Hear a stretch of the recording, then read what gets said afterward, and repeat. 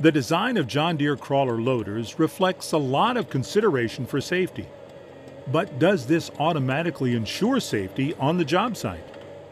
There are many pieces of safety equipment on the machine, but there is no assurance that the safety equipment will get the job done unless you use the safety equipment that's on the unit.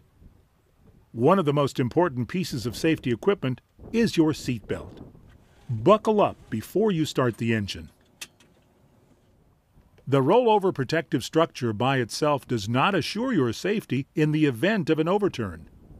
If you are not wearing your seatbelt, you could be thrown and crushed, possibly by the ROPS itself.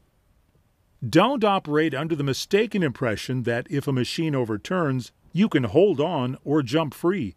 That impression may be fatal. Before starting out, make a quick check of the operational controls. It's better to take a moment now than to find out at a critical moment when it's too late to avoid an accident. If you are new to the machine, it's a good idea to operate the controls in a safe location until you become familiar with them. Before you begin work, be sure you call the utility services in the area to have the job site marked for underground lines or structures. In most areas, there is a free or low cost one call locator service.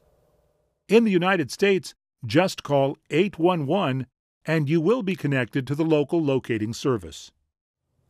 It's better to take a little time before the project begins to know what you may encounter. If you cut or rip through a gas pipeline or an electrical line, you will be losing a lot more than a little time.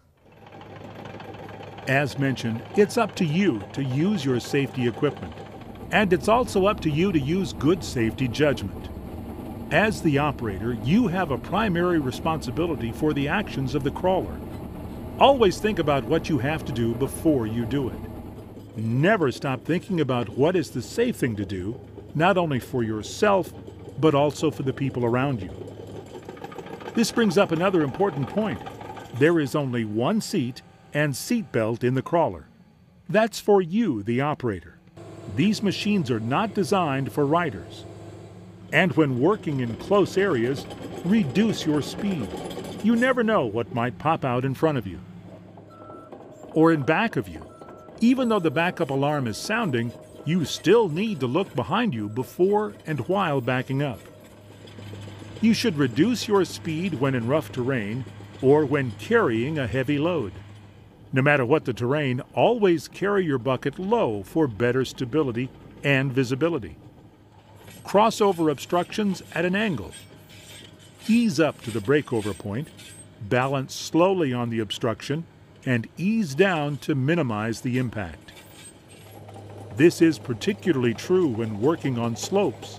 Always drive up or down the slope with the heaviest end of the loader on the uphill side. That means with a loaded bucket, you need to drive forward up a hill.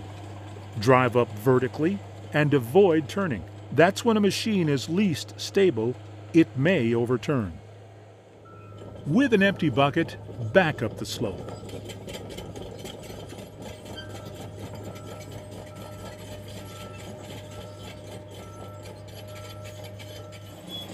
When using the loader, keep the loading surface smooth and level. This not only makes it easier to load the truck, it also improves stability when the boom is being raised. It's important to be careful when working close to a trench to avoid a possible cave in and accidental machine overturn. When backfilling, a good method is to attack the pile at an angle so the dirt falls gradually into the backfill area. This helps avoid large chunks of dirt causing damage to objects near or in the trench. It also helps with visibility down into the backfill area. When shutting down the unit, there are a few simple procedures that you should follow. The machine should be parked on a level surface. Move the FNR lever to neutral. And lower the bucket and any attachments to the ground. Operate the engine at half speed without load for a couple minutes. This will cool down the turbocharger to extend its life. Slow the engine to low idle before stopping the engine. K-Series crawler loaders have an automatic turbo cooldown feature. If the engine is hot and the stop button is pressed, the engine will continue to run while the turbo cools down. Once cool, the engine will shut down.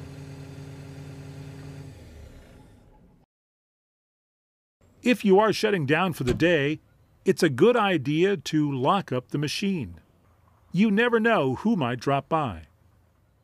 If you plan to haul the unit, you should always use caution when loading it on or off a trailer. Experience shows that this is one of the most likely times for a tipping accident. Be sure the trailer is sitting on a firm, flat surface. The bed should be clean of debris. Use chock blocks against the trailer wheels to help prevent the trailer from moving. You should always fasten your seat belt before loading or unloading in case of overturn. It is recommended that you have a spotter to help line up the crawler and that both you and the spotter are familiar with hand signals.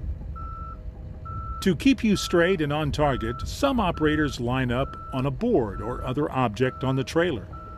The center line of the machine should be on the center line of the trailer. The unit should also be balanced fore and aft on the trailer. Once on the trailer, move the FNR lever into neutral and lower the bucket and any attachments to the trailer. After cool down, shut off the engine. As before, lock up the unit against vandalism. Fasten each corner of the machine to the trailer with a chain or cable with appropriate load binder. Before you haul the machine, be sure of its overhead height to the ground. It's better to know your limitations beforehand rather than learning the hard way after you hit something. As you have seen, John Deere K-Series crawler loaders are equipped with many safety features and systems. But it's up to you, the operator, to use them. You have to think about every move you make before you make it. It doesn't matter how much experience you have, it only takes one mistake to make a difference in your life and in the lives of others. Statistics show that of all the accidents reported, over 90% of the operators hurt or killed were listed as experienced. Accidents don't always happen to the other guy. That other guy can be you.